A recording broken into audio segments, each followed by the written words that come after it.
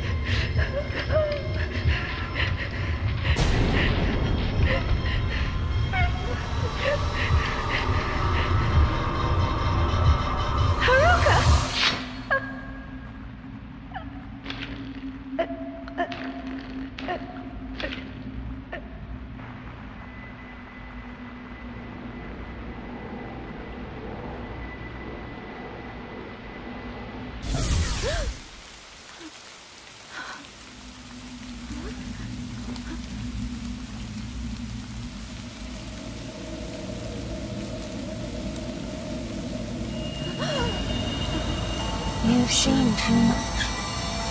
You cannot leave the mountain. You will dissolve into nothing.